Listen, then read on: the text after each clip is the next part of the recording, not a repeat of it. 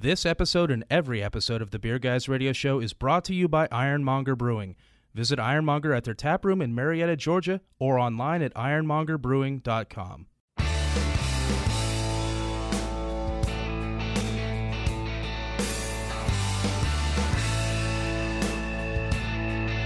Open up a tab, grab a seat, and pour a pint.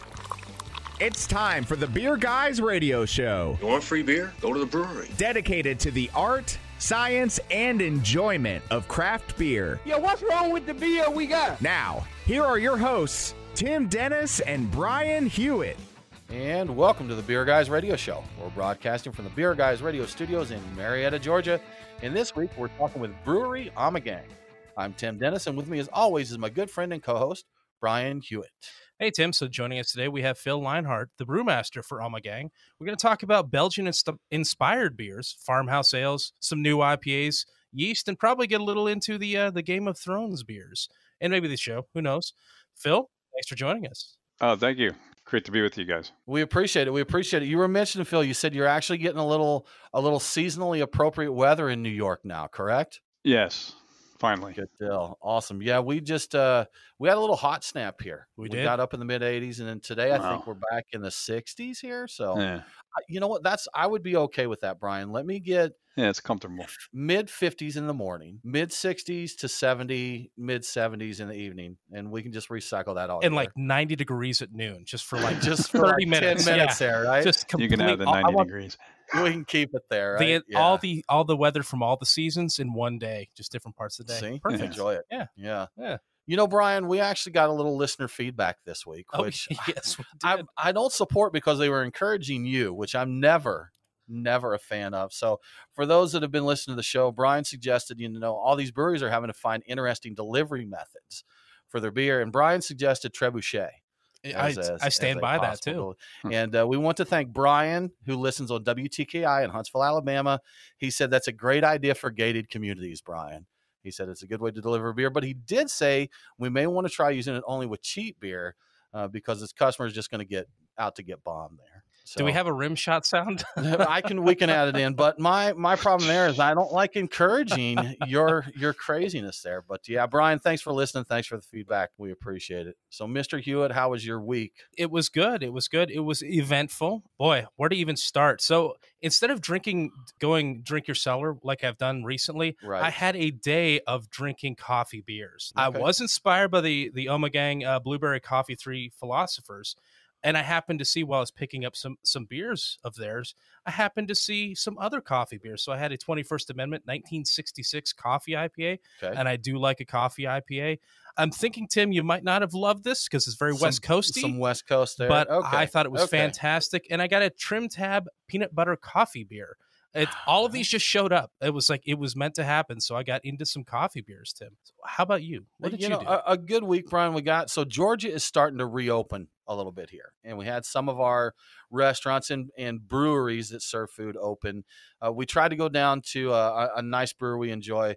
It was just packed. Everybody was out there. It's on what they call the Atlanta Belt Line, New Realm Brewing. yeah. and it was it just wasn't happening. We weren't going to make it in there, so uh, we went on. We ended up at uh, at Yard House, and uh, super friendly folks there, Brian. I'll say it was a less than stellar experience, Yeah. and I'll leave it at that. We'll leave it at that. But I got to try a new uh, pilsner that uh, Phil. We were just uh, mentioning you had a Facebook Live that you did last week. And you mentioned this pilsner, and it, it's kind of interesting because I hadn't heard of it before this weekend. I think, did you say that's pronounced Bavik? Vavik or Bavik, I think. I've heard it both Okay. ways over in Belgium. All right, but a nice Belgian pilsner, which was absolutely you know fabulous. Really enjoyed that. Yeah. So enjoyed that. Went down to a brewery that we don't get too much. They're only a couple miles from our studio here, but we just don't get there that often. But we went down to Schoolhouse Beer.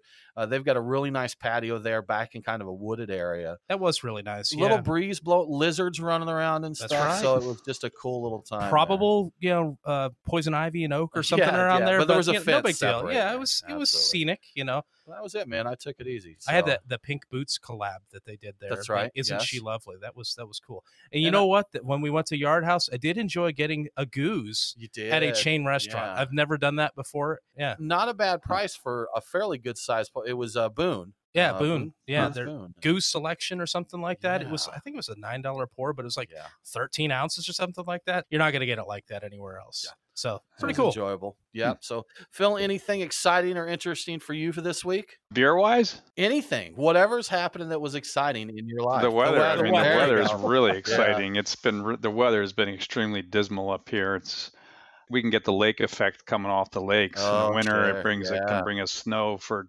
25 days straight, and then even in the Yep. spring and summer, and get cloudy, overcast for like an extended period. But Uh, I don't know weather forecast right now, like the next seven or eight days, supposed to be sunny and beautiful out. So it's really exciting right now.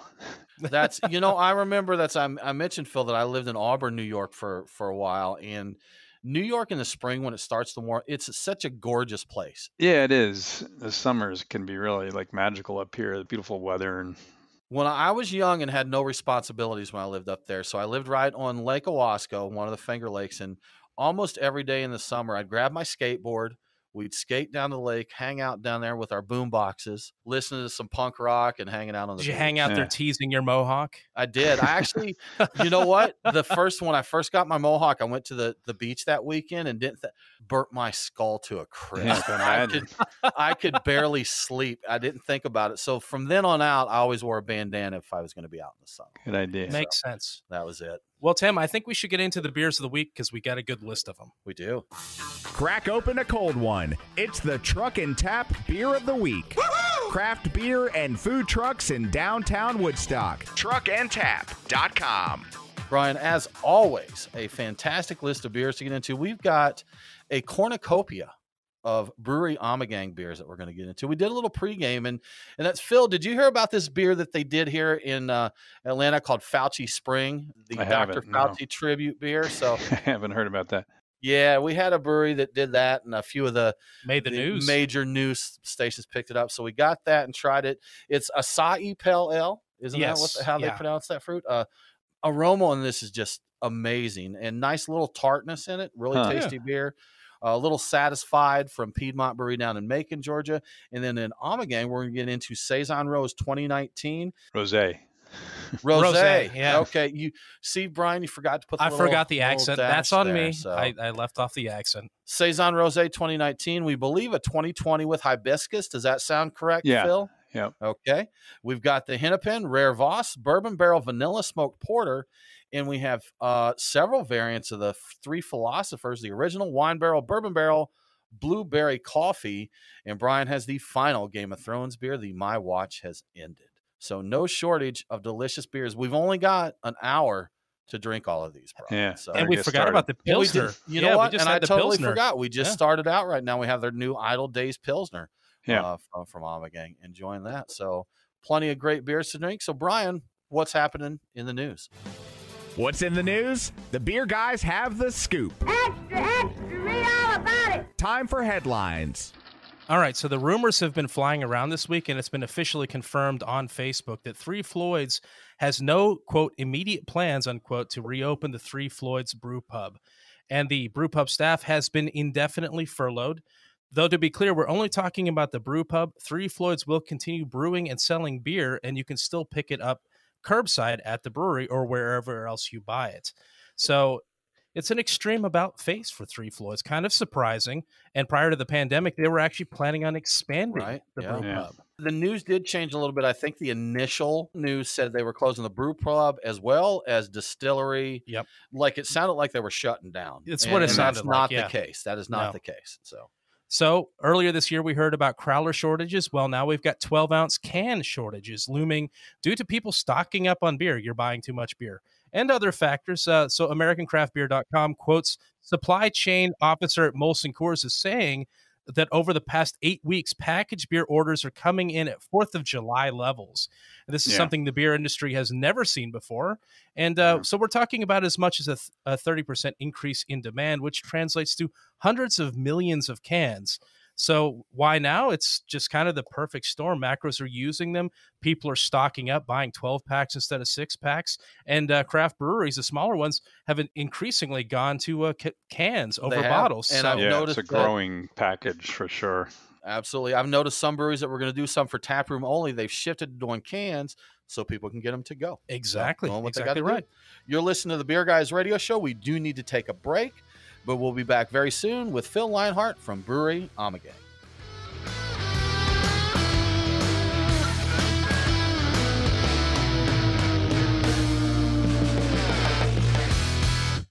Is your brewery or restaurant flooring all jacked up? Your foundation needs to be protected from heat, chemicals, and other contaminants. At the same time, you want to make sure it's slip resistant and you can clean up your messes with soap and water. You know who to call? ResTek. We've been manufacturing poured in place flooring since 2002, and we've got solutions to fit any facility's needs. Go on and visit our website at ResTek. .net. That's R-E-S-T-E-K dot net. Drop us a line and we will come to you for a free evaluation. Oh, yeah. Craft beer forged with a reverence for tradition and new styles that start a revolution. Ironmonger Brewing. The brewers at Ironmonger Brewing pride themselves at being masters of barrel aged, hoppy, and sour beers. They invite you to their tap room in Marietta, Georgia to taste and see. Also, visit their barrel room for an intimate drinking experience with great live entertainment. Keep up to date on all things Ironmonger by liking them on Facebook. Ironmonger Brewing, establishing a new standard in craft beer.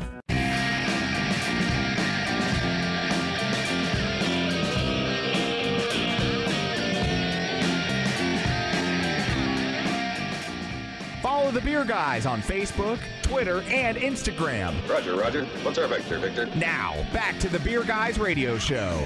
Welcome back to the Beer Guys Radio Show. Remember, all episodes are available on demand. So if you missed the broadcast, hit the podcast. Beer Guys Radio is available on all popular podcasting apps. Now let's get back to our talk with Brewery Ommegang. Brewery Ommegang. Phil Leinhart. Phil, thanks again for joining us. We greatly appreciate it. No problem. It's a pleasure. And we are here. We have just opened another one of your beers. We got into the Rare Vos. Can uh, you tell us a little bit about this beer? Yeah, well, I mean, it's like I say, it's um, based on an old brand, Belgian brand called Vieux Temps. I'm not sure if it's still available. Uh, some people might refer to it as a Brabant ale, kind of like a Belgian amber, similar to maybe like Palm. That's a Belgian beer, kind of a mild amber beer of like six to six and a half percent ABV. Ours really showcases the caramel note from American caramel malt and Belgian caramel malt, mildly hopped. What really comes through beyond the, the yeast strain, the, the Belgian yeast strain, is the spices, uh, coriander, sure, orange yeah. peel, grains of paradise.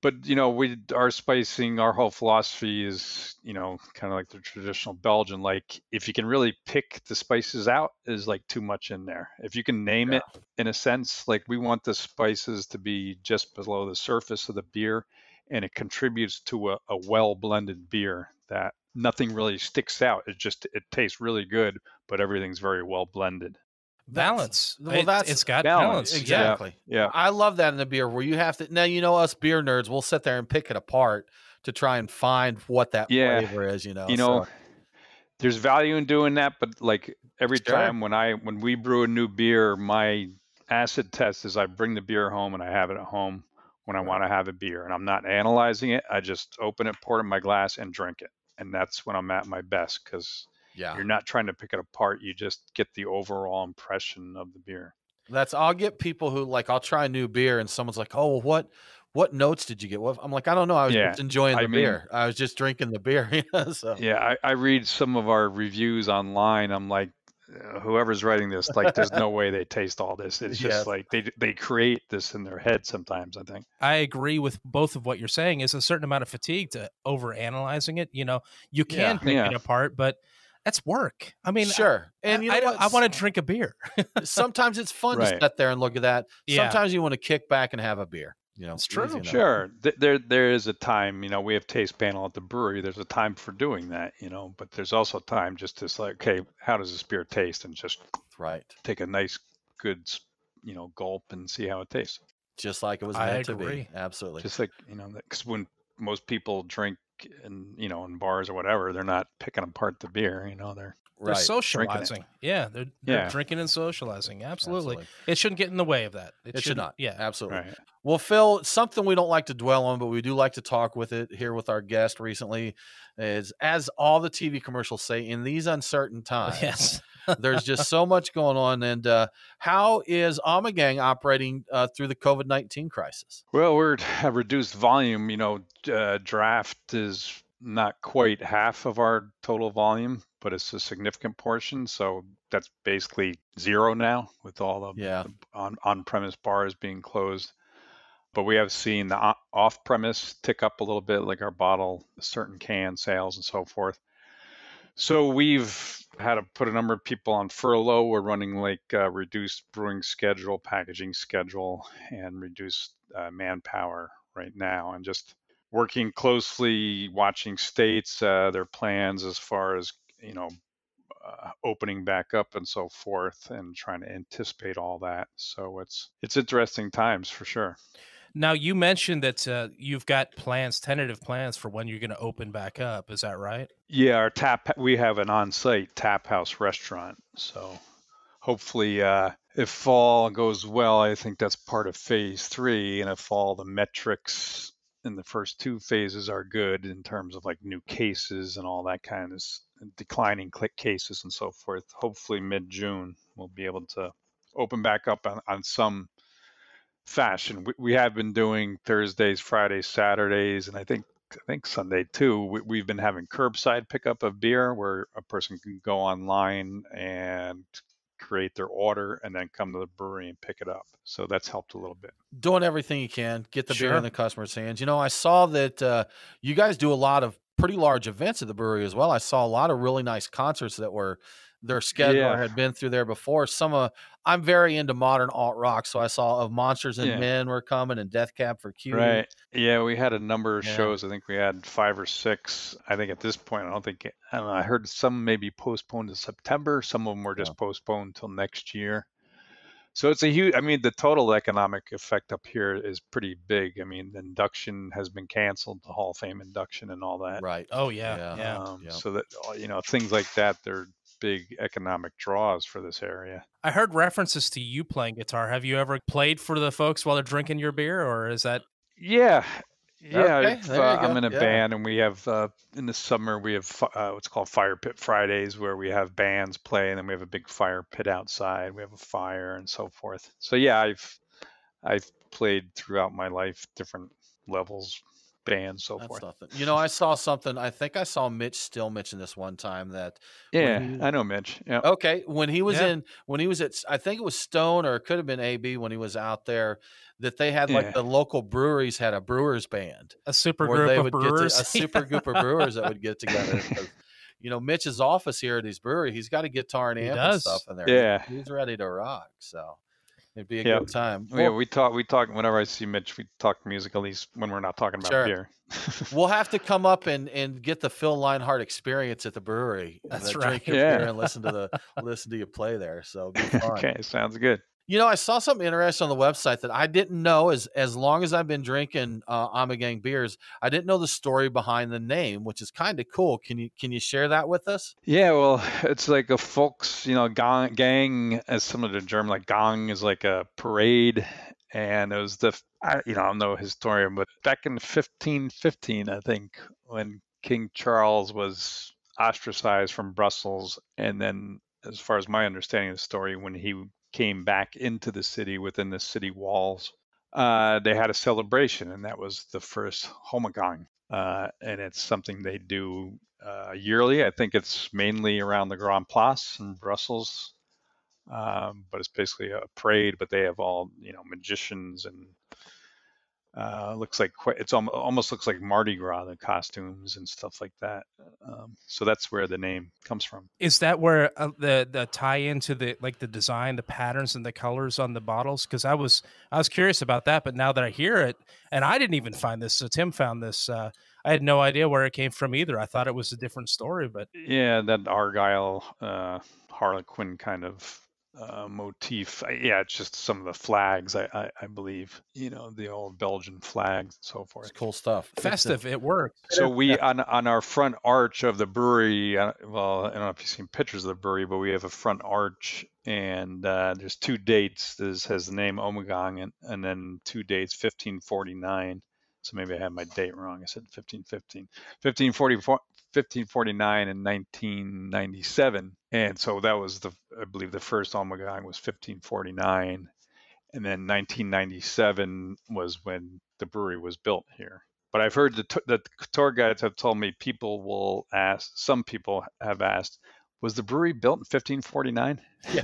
Yes, it was. you should say uh, yes. no, I don't think they were pouring concrete back then. But yeah, that's it. They make it. We were the first place here to have this. It was all gravel, no concrete, it but yeah. it was the same basic thing. Well, Phil, we we want to dive into a little more stuff, but we're about out of time here. So before we go to break, we just opened Saison Rosé.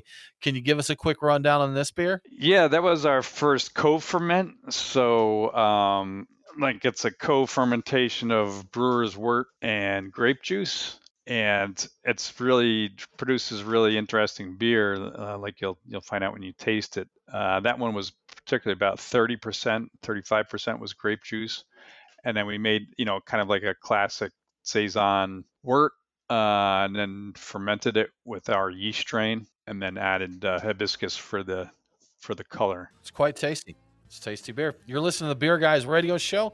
We do need to take another break, but we'll be back very soon to talk more with Brewery Ommegang.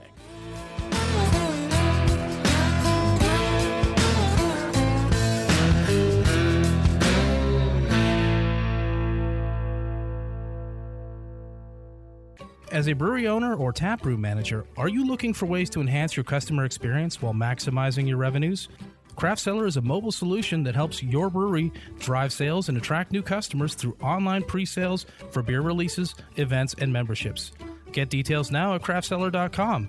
Mention Beer Guys Radio after sign up and extend your free trial to a full 30 days. Remember craftcellar.com, C R A F T C E L L R.com. As beer lovers, we know real beer and Athletic Brewing makes non alcoholic beer that stands shoulder to shoulder with full strength craft beer. With a fraction of the calories and certified organic, it's a great beer to enjoy anytime. Check out Athletic's selection of IPAs, golden ales, stouts, and more at athleticbrewing.com. Use code BeerGuys25 for 25% off your first order, and U.S. customers get free nationwide shipping. Athletic Brewing, brew without compromise.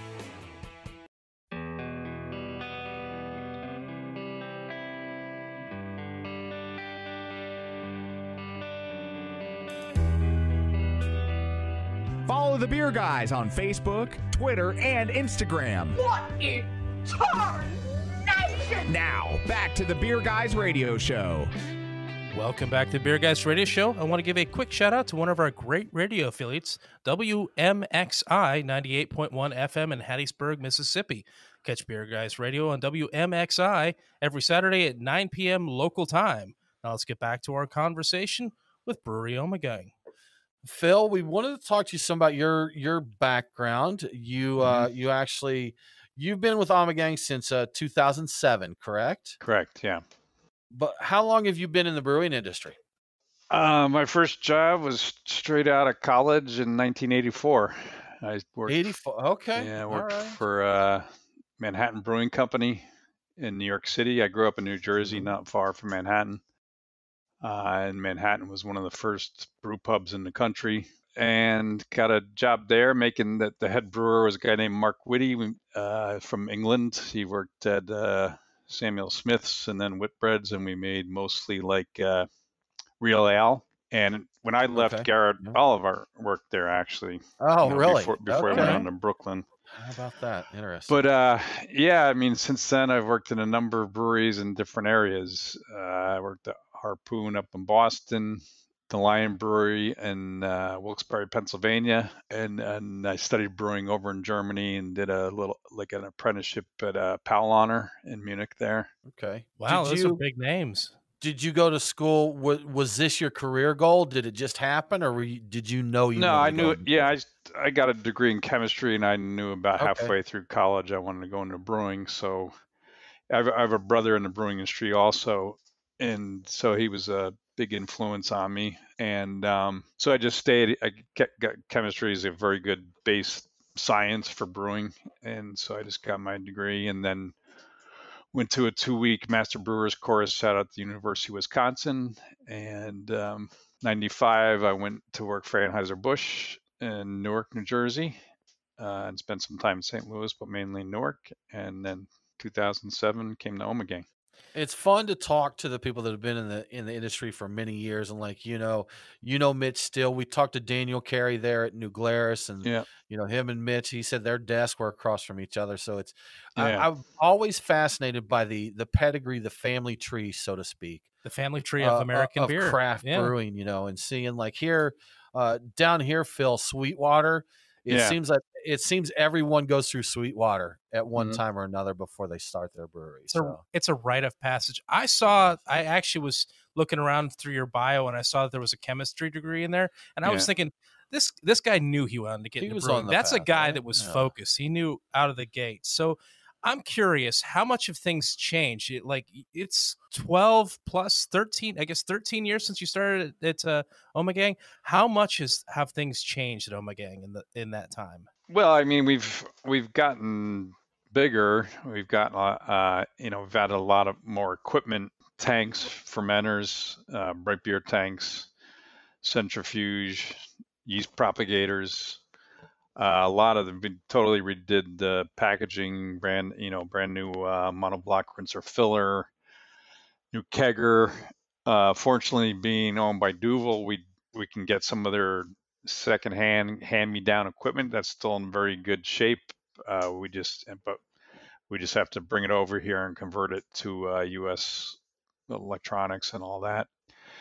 And it's changed a lot in that you know we've had to branch out. I mean, the very first beer at Ommegang was the Abbey Ale, kind of like a double style, and then they all the styles that initially came after that were very quote Belgian, you know, unquote, but we've found we've had to you know branch out from that because people's yeah, you know you're talking about IPAs they're still like the vast majority of uh, market share and so forth and so uh, we've really branched out in, ter- in that way also in terms of our styles that we're brewing. I mean, this Pilsner is like a Belgian, a lot of people don't realize that is a thing, Belgian Pils. They think Right. Belgians just make like Abbey beers and stuff like that, but it, it really is a thing over there, and it's a style unto itself. Uh, but with our, our like Nirvana IPA and Neon Rainbows is like a, kind of like a hazy New England style IPA.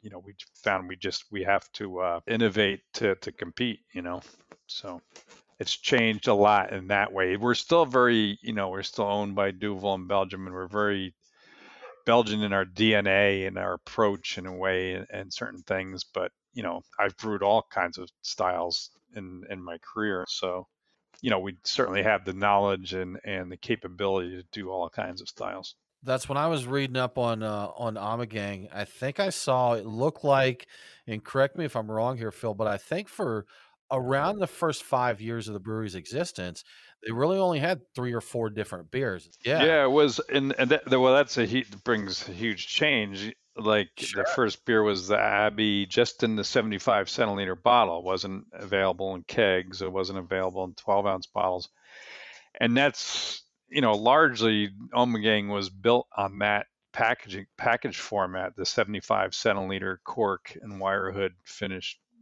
uh, bottle. And that that that's almost non-existent now. You know, it's people don't want these big bottles. They want like a single serve and so forth. So that it's changed a lot. That really has changed a lot. Well, that's something I think back to like the late 90s, what I call the late 90s brew pub. To me, that has a certain, you're going to see an amber ale. You know, you're, Yeah. you'll probably see a half, you'll see this and that. And at that time, that's what people wanted in their beer. They wanted to go to a brewery that they knew they made this style well. You know, so it wasn't, you know, you weren't getting the Haze Bros lining up every weekend to get the latest four pack. Right. So it was a little, It's true. Yeah. Yeah. I think we're into the uh, the Hennepin at this point. Is that right, Tim? We're in Hennepin. which is your farmhouse sale. I'm curious. I'm never sure which is your biggest seller, the Three Philosophers or the Hennepin. Well, right now, Neon Rainbows, I think, uh, overall. Hey, how Um, about is it really? Wow. Yeah, or it's quickly approaching it. I, I, I look at the spreadsheets from the sales guys, but Hennepin, yeah, it's lately hasn't been doing the best for us. People don't, I don't know, they want to drink hazy IPAs, you know, or or seltzers, or you know, there's a lot of. It's just They don't know about that farmhouse ale. the American market's crazy. The American drinker is just there's so I mean Yeah. they went through this period where it's like you know they call them the promiscuous consumer because they don't there's no brand loyalty. They just want to try something that's new, you know. And Right. now with the Absolutely. seltzers, that Yeah. that's totally blown it apart, you know. Have you done a seltzer yet? Yeah. No, Do are we going to see an Ommegang seltzer? no, not a seltzer. I don't think we might Not do going to happen. something along those We- lines, but With You know, I- Belgian yeast, maybe in spices. Belgian seltzer. I Yeah, don't something know. This could be No, no, interesting. no, no, the whole key, the whole key to make your FSB as neutral as possible, you know, so the flavor, Oh. Right, the flavorings come through. We saw today in the news that uh, I think it's Charlotte, North Carolina. There's actually a seltzery opening there. That that's there's going to be the, the seltzery. Yeah. So there was a a spirited discussion online about uh, the viability, and I think Yeah. back to the wine cooler craze, the Zima craze, the uh, Bacardi A all Zemery. that. They should do a, A. Yeah, yeah, I remember Zima. Yeah. Well, I they mean, always talk about I the pen, built it. The pendulum swinging. I, I hope it's reached the far end. I hope the pendulum's going to go back. You and me Yeah. In both. all honesty, really. you know, I mean, I've had seltzers; they're fine for what they are, but it's not beer to me. You know, I mean, that's kind of my thing too. We've got a we've got a brewery here, Variant, which is a phenomenal craft brewery, and they did a seltzer, and the brewer there is like, "I want you to try this. Take this crowler and try this." It was really good, Phil. It was really Yeah. good, but it's n- but it's it's a fruity seltzer, you know. if you're a beer lover, you're a beer lover. You know, I'm a beer lover. Yes, You know? yes. I agree right. with you. You I am a beer stand lover. up for yeah. what's right. That's we talked about. You know these craft breweries jumping on the uh on the bandwagon there with it. With You the seltzer. at the I same think a token, you've got to compete too. You gotta, you do. you gotta, Sure. you gotta innovate and play. And It's a You gotta make survival thing, through. just like the hand sanitizer. They're just like san- yeah. they- they were doing uh, seltzers, and now like, wait, hold on, everybody wants hand sanitizer. Let's That's do that. it. Well, all this seltzer talk has made me sad, so we're gonna have to take a break and, compo- and compose ourselves here. You're listening to the Beer Guys Radio Show, and we will be right back with more from Phil Leinhart at Brewery Ommegang.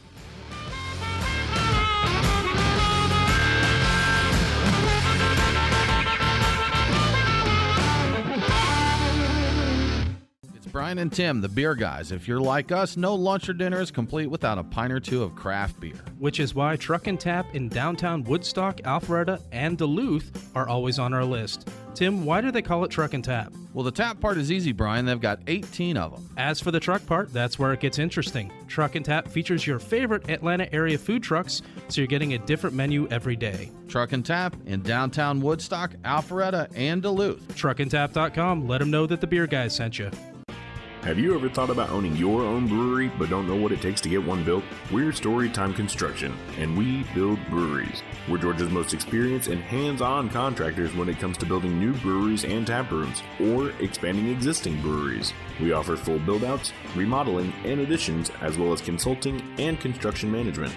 Give us a call at 770 733 4343. Storytime Construction. We build breweries.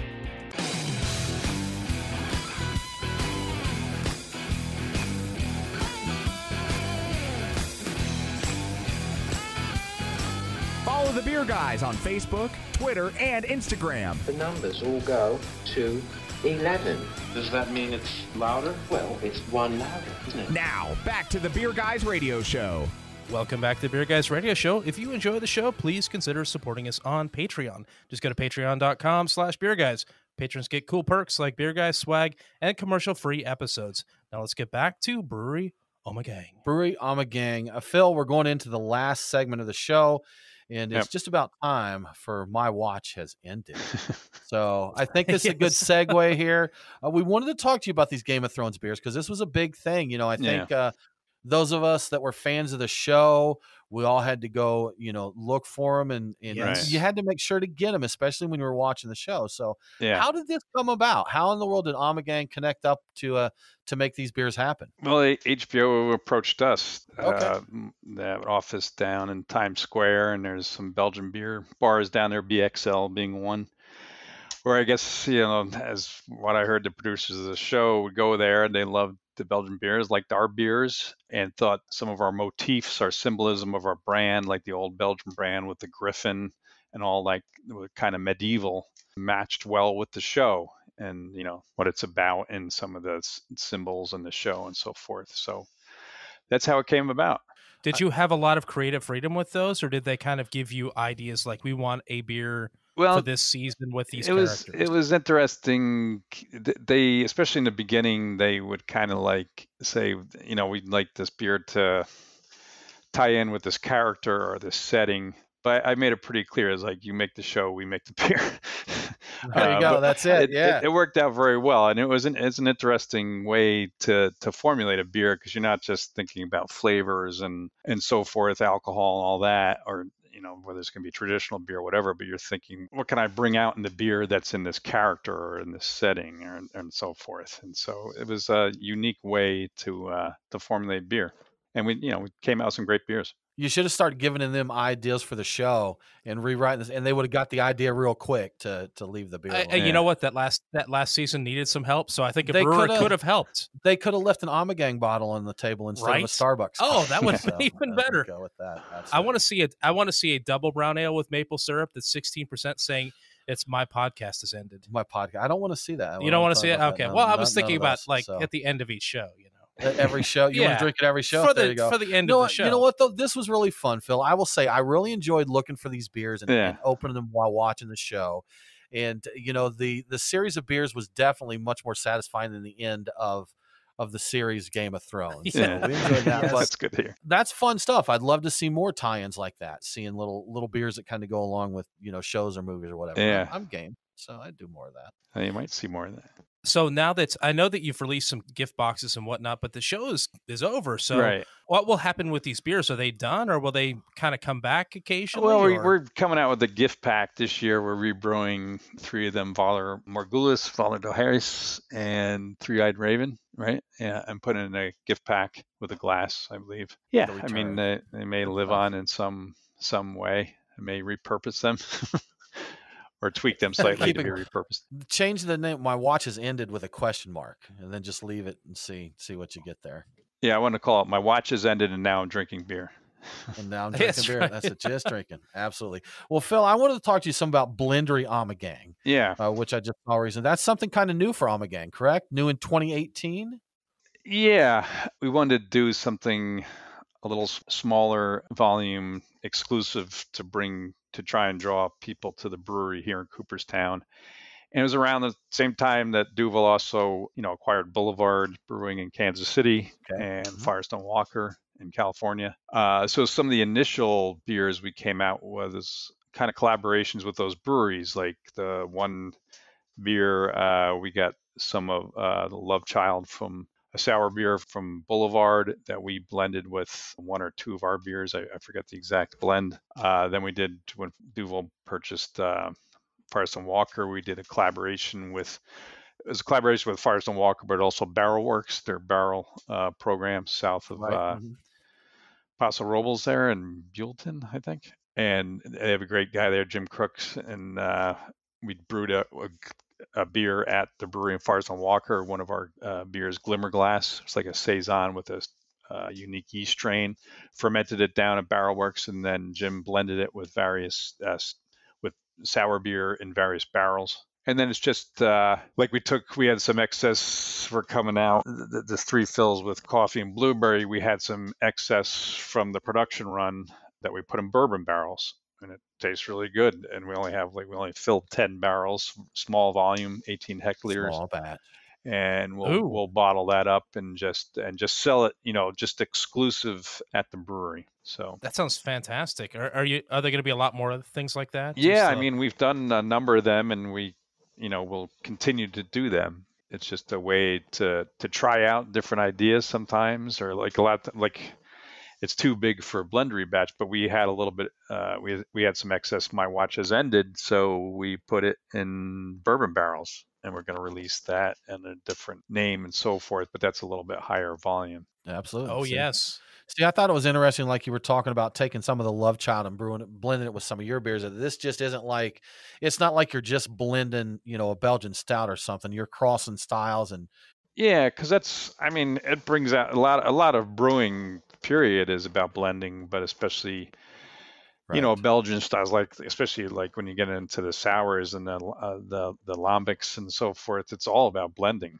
You know, you got to blend stuff to create a consistent, you know, final product. Will we be seeing it someday from you guys a lambic or a gueuze style beer, like an open? Well, you know, I got to be honest with you guys. They're not my favorite uh, Okay. styles, All but uh, for us to do it here, uh, that's not to say someday we we may do something like that. But for us to do it here, I'd have to build a brand on a whole nother building. We couldn't do it in our main production building. So that costs, that's a lot of capital money right now. That is not, a you little know, bit of money there. True. Yeah. You do have the real estate for it, though. You could we have a do, sour we do. Yeah, there. Yeah. we do. We do have the real the estate. Ommegang cool ship there. So you know what? They've got someone in the family tree. They've got uh, Boulevard and Yeah, and then you know we've done. I've I've spent a fair amount of time over at Liefmans, uh, and that's where du- Okay, Duvel does yeah. all their all their sour wild beer is done in Liefmans. They don't bring a cell of a bacteria or wild yeast into Bre- Duvel Brewery. Everything's done at Liefmans, and so we've done uh, a couple collaborations with them. So Phil, I saw really quick. We're running short on time. I saw that your your brewery's actually based or built on a 136 acre former hop farm. Right. I'm curious. You still grow any hops there, and do you use them in any of your beers? Well, we uh, we we do. uh, This will be our third year or fourth year of a beer called uh, Hop State New York, using all New York grown hops. The, the, what we did, I don't know if you're familiar, but this is where hops were grown back in the 1800s and early 1900s. Was the biggest hop growing area in the country here. In fact, the relatives of the Busch still have an estate here, and they have old pictures of the hop fields where they grew the hops that went into Budweiser back in the late 1800s. Um, Really? And Okay. so we did a project with Cornell University because when I saw hop growing was starting to come back to upstate New York, I'm, I was like, I think the best thing we can do is try to help growers who have never grown hops before. Is like, what varieties might be more disease resistant? What varieties might do the best in this soil type uh, and this weather type? So we did a partnership with Cornell University and funded some of their work where they they were even go, they had a scout in one year that was going out and to these local hop fields and farmers and and helping them with you know how how are you irrigating and how you applying fertilizer and stuff like that.